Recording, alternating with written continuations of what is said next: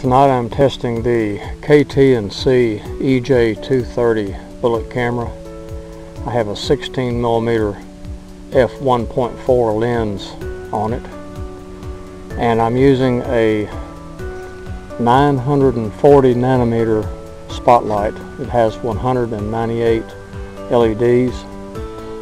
Uh, it's totally invisible when looking into the light. There's no glow at all that I can see.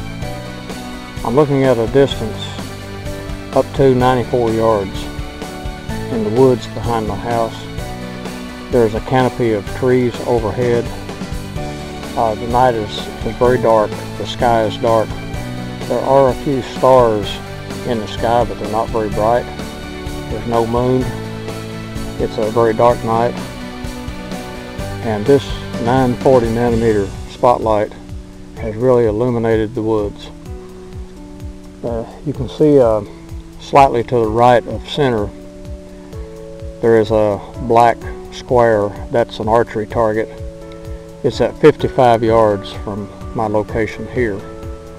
Straight on up from that between the two trees about as far as we can see is 94 yards. I have another target up there.